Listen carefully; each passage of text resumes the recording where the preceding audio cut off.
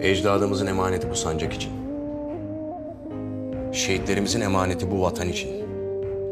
Milletimizin emaneti bu devlet için. Her daim göğsümüzü siper etmeye hazırız. Cengimiz bir, davamız bir, bayrağımız birdir. Künyemiz yok. İsmimiz yok. Bizim adımız Kürşat, Seher, Olcay, Ahmet ve şehadete kavuşmuş binlerce isimsiz neferin adı.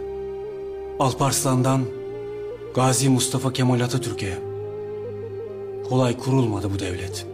Yedi düvele karşı bir değil, binlerce destan yazdık.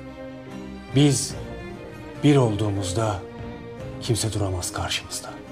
Düşman kim olursa olsun, nereden gelirse gelsin, kanımız, canımız bu vatana, bu millet için, bu al sancağı helal olsun.